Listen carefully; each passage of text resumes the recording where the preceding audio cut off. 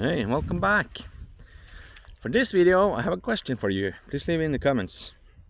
So, my question for you and challenge is, what would it take for you to consider moving to a free city? What is the services or the business and work opportunities that you would need to consider doing such a such a change in your life?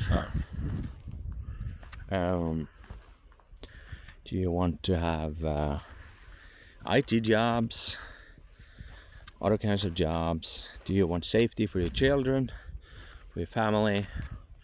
Do you need do you want a big big plot of land where you can grow your own food and have a big garden?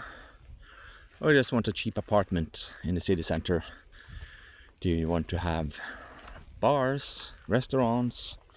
What about the spa, for example, sauna? I love doing saunas. So that's one of the things I look for in a free city. And uh, yeah, short video where the question is, what would it take for you to move to a free city? Please let me know. And then if there's some good suggestions, I'll try to build it here in Liberstad for you so you can come, move here and live together with a bunch of freedom loving people. Thank you.